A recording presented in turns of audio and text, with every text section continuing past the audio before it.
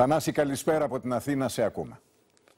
Το κλίμα Νίκο στο Κογκρέσο για την Τουρκία έχει γίνει πολύ βαρύ τους τελευταίους μήνες, αφού όλο και περισσότεροι γερουσιαστές κατακρίνουν ανοιχτά την αντισυμμαχική της συμπεριφορά, κυρίως λόγω της απόφασής της να προβεί στην αγορά των ρωσικών πυράβλων S400. Και όπως μου μετέφεραν αξιωματούχοι που γνωρίζουν τις συζητήσεις που γίνονται μέσα στις επιτροπές στο Κογκρέσο, το θέμα δεν είναι αν θα επιβληθούν κυρώσεις, αλλά πότε θα γίνει αυτό και τι είδους κυρώσεις θα είναι αυτές. Σε αντίθετο δρόμο όμως κινείται το State Department, όπου ο Υπουργός Εξωτερικών, ο Ρεξ Τίλερσον, φαίνεται ότι θέλει μετά και την επίσκεψή του στην Τουρκία και την τρίωρη κατηδίαν συνάντησή του με τον πρόεδρο Ερντογάν να δώσει χρόνο στην Άγκυρα, σταθμίζοντας προσεκτικά τα υπέρ και τα κατά των κυρώσεων που ίσως κάνουν τα πράγματα χειρότερα. Να πούμε, Νίκο, ότι τις τελευταίες μέρες διαβάζουμε ολοένα και περισσότερες προτροπές στον Αμερικανικό τύπο από πρώην πρέσβεις, πρώην αξιωματούχους, παράγοντες και αναλυτές που ζητούν από το Λευκό Οίκο να μην υποδίεται πλέον ότι η Τουρκία είναι μια φιλική χώρα και ότι οι Ηνωμένες Πολιτείες έχουν κοινά συμφέροντα μαζί της. Είναι ενδιαφέρον να τονίσουμε ότι έχουμε αρχίσει πλέον να παρουσιάζουν την Τουρκία με το Πακιστάν. Θεωρούν δηλαδή ότι ο γείτονάς μας βαδίζει αργά αλλά σταθερά να γίνει το νέο Πακιστάν στην περιοχή.